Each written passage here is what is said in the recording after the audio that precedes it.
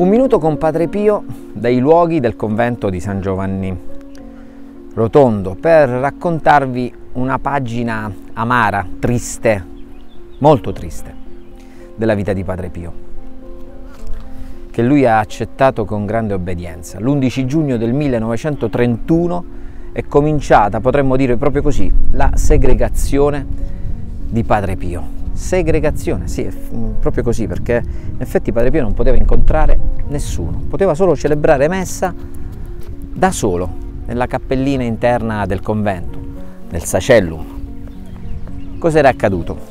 Ecco, ce lo racconta proprio la cronistoria del convento, che dice il padre cronista, ieri sera per posta è arrivato il decreto che toglie a Padre Pio ogni facoltà, eccetto quella di celebrare la Santa Messa.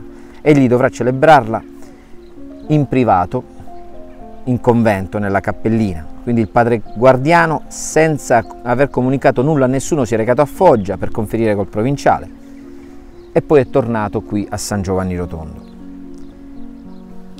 Si racconta appunto che il, il padre guardiano fa chiamare padre Pio dopo il Vespro, a sera, lui era in coro a pregare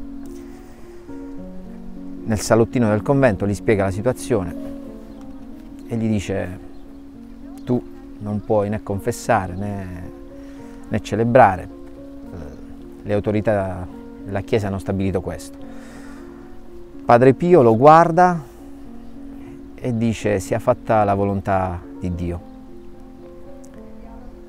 Abbassa il capo, sta per qualche minuto lì seduto poi congedato si alza e torna in chiesa a pregare fino a notte fonda.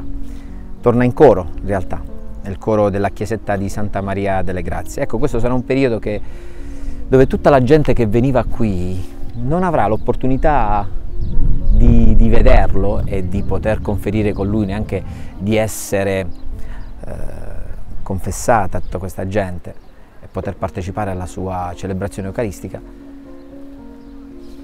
per due anni interi, fino al luglio del 1933. E si racconta, e lo scrivono i suoi confratelli proprio nella cronistoria del convento, scrivono che mai da lui hanno sentito una parola contraria a quello che stava accadendo.